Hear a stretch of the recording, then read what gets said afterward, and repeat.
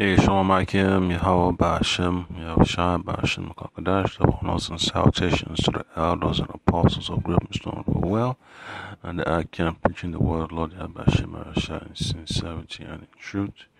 Alright, so uh, you can see on the screen, that's uh, an apple tree. You know, you gotta be, you gotta be aware of uh, your your goings, your journeys in this truth. You know, it comes with conditions where you have to be fruitful, you have to be productive. All right, but uh, mentally, spiritually, even financially, all right, how you manage your affairs, it has to be in a productive manner. All right, because being a man of the Lord is not uh, walk in the park.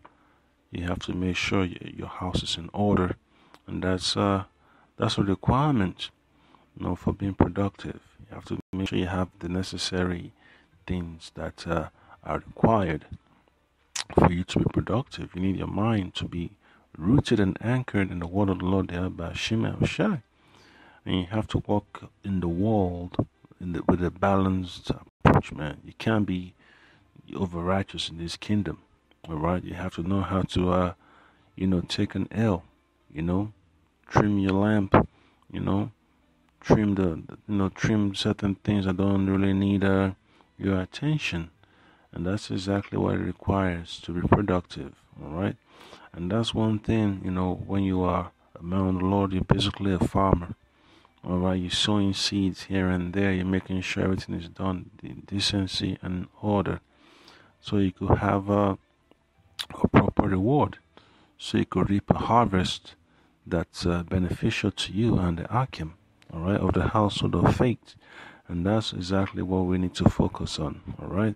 So I want to get a quick precept. It's going to be from the book of uh, of John, because this is what Lord Yahweh requires of us, because He's the one that hired us to do this work, and we have to abide by His standards. All right. So this book of uh, John, chapter 15, verse 16, it says, uh, "Ye have not chosen me." But I have chosen you and ordained you that ye should go and bring forth fruit, and that your fruit should remain, that whatsoever ye shall ask of the Father in my name, he may give it to you. Alright? And that's the reason why.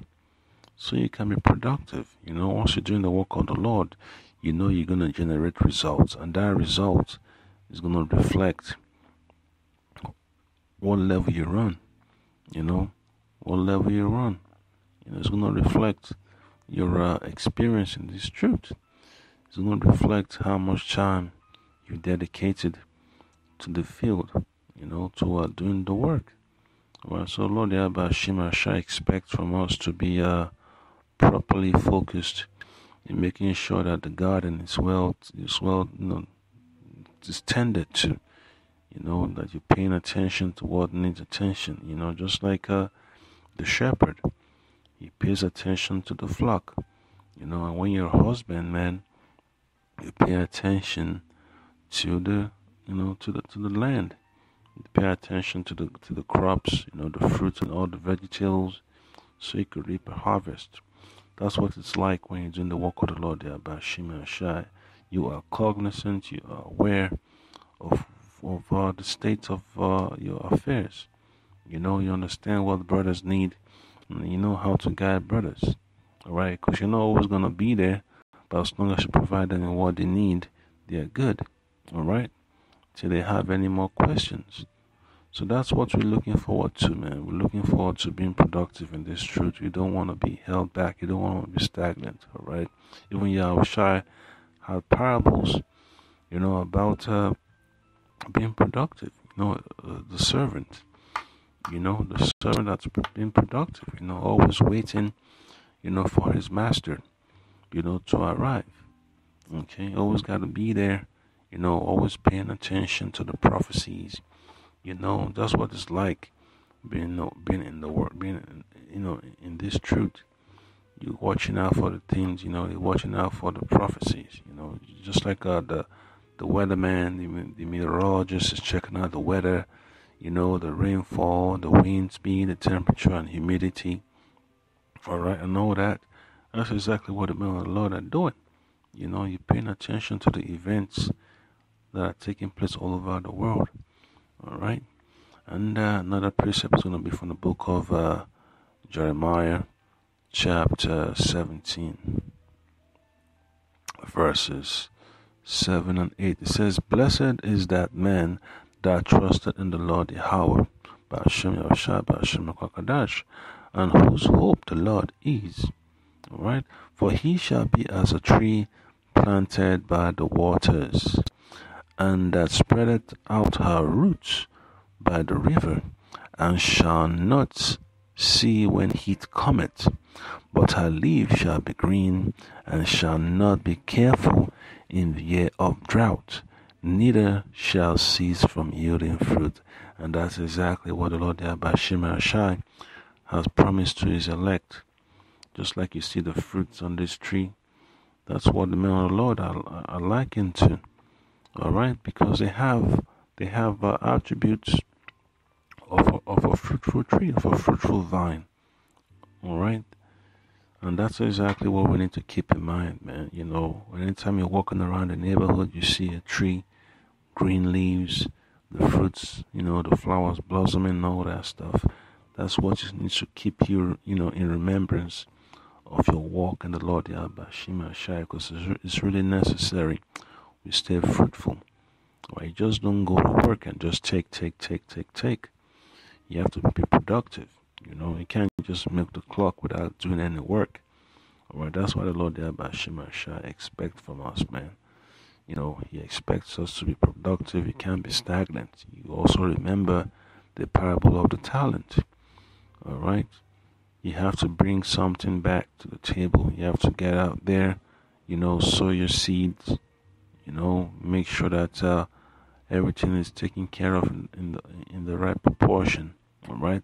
Verse 8. I read it one more time. For he shall be as a tree planted by the waters and that spreadeth out her roots by the river. All right, guys. So the tree needs water, man. You know, and shall not see and shall not see when heat cometh. Because when you take care of your plants, you know they're they're ready. They're ready. You know to withstand the storm.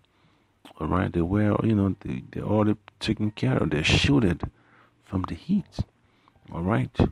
But her leaf shall be green and shall not be careful in the year of drought. So remember the famine of the world is coming.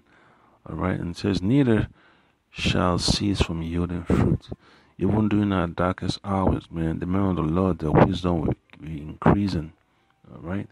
So this is the book of uh, Amos chapter 8, verse 11. It tells you clearly. It says, Behold, the days come, said the Lord Yahweh, Hashem, Hashem, that I will send a famine in the land, not a famine of bread, nor a thirst of water, but of hearing the words of the Lord. So the men of the Lord are going to be productive in these last days, man.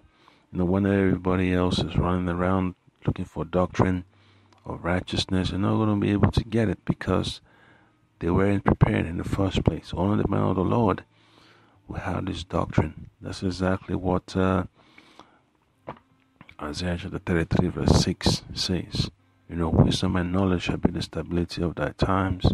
All right? I read to you. So this is Isaiah chapter 33, verse 6. And wisdom and knowledge shall be the stability of thy times, and strength of salvation the fear of the Lord Yahweh is his treasure. Yep. So that's exactly what you need to expect because the Lord Yahweh Shema Shaba Shema Kwakodash has something in store for us, some right something fit, or right something befitting for royalty, you know, for a high priest. All right, so we, we have to uh, strive to be fruitful and remain fruitful, man, because it's really necessary in these last days that we don't uh, get consumed by by by the by the drought, by the heat that's coming. Okay, so another precept is going to be from the book of uh, Galatians, chapter six, verse seven. You know what? Uh, from um, Yeah, Galatians chapter 6, verse 7, it says, Be not deceived, the Most High is not mocked, for whatsoever a man soweth, that shall he also reap. So when you sow in righteousness, you're going to reap righteousness. If you sow according to uh, corrupt corruption, you shall reap all corruption. Right, for verse verse 8 says, For he that soweth to, to his flesh shall reap of the flesh corruption, but he that soweth to the Spirit shall of the Spirit reap everlasting life. That's why we keep harping and yelling to our people not to engage in this protest and just wait upon the Lord Yahweh Shai. Alright? And verse 9 says, Let us not be weary in doing well. So as a farmer, you shouldn't be tired of taking care of the garden, taking care of the trees, taking care of the brotherhood. You shouldn't be tired, alright? For in due season we shall reap if we faint not. And that's exactly what happens when you're getting closer and closer to the season of harvest. You understand that you need to tighten up because uh, there's so much, so much that been put into into that that that uh, field to make sure you know the the the, the fruits that you know are, are you know are produced you know, you just don't want to put in all that work and then there's nothing to show at the end. That's not the way the Lord works. That's what the Lord warned the prophet against. You gotta be fruitful. You know? This is verse 9. I read one more time. Let us not be weary in well doing, for in due season we shall reap if we faint not. So we're getting closer and closer to that time of salvation. All right, the time of salvation, the time of harvest that we're waiting for. All right, because Lord Abba has promised us salvation. You know, that's exactly what we've been hoping and praying for all this time. So we'll be delivered from the hands of our enemies. Or another precept is going to be from the book of uh, Sirach. Sirach chapter 39, verses 33 to 34. Right, it says, All the works of the Lord are good, and He will give every needful thing in due season. Alright, so in due season, we shall reap our rewards that is coming from the Lord. Alright, that's why the Lord Yahushua is going to give every man his reward according to his work. So it's really necessary we stick to the plan, we stick to the Lord's, uh, you know, promise of uh, that reward that is on its way. So this is verse 34. So that the man cannot say, This is worse than that, for in time they shall all be well approved.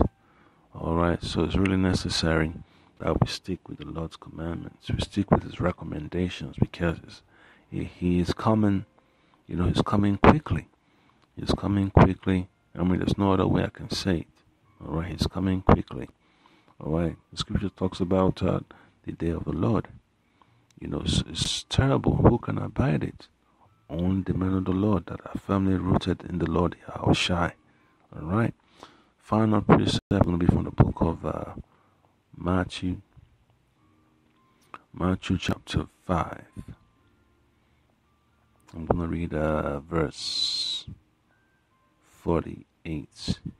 All right, so it says, be therefore perfect, even as your Father which is in heaven is perfect. All right, you have to be balanced. You have to be sincere. All right, because uh, you're you're you're a, a servant of the Lord Yahushua. All right, you're His employee. You're His prisoner. You're on the Most High's chain gang. So you have to do whatever you need to do to serve your sentence. You know, and be in your best behavior. You know, that's exactly what uh, we're looking forward to, man. You know, you don't want to serve all your time in captivity and then you get destroyed. You know, we're not uh, we're not looking forward to being on death row. we're looking forward to early release, man. That's why we gotta get on that uh, early release program. You know, because uh, there's parole. You know, there is parole for the elect. all right, that's why we're getting out of here through the blood of the Lord Kadash. So that was the point there, Akim, you know, stay fruitful, stay humble, you know, keep your uh your field trimmed and uh well taken care of, man, because we're getting close to the time of harvest. Shalom.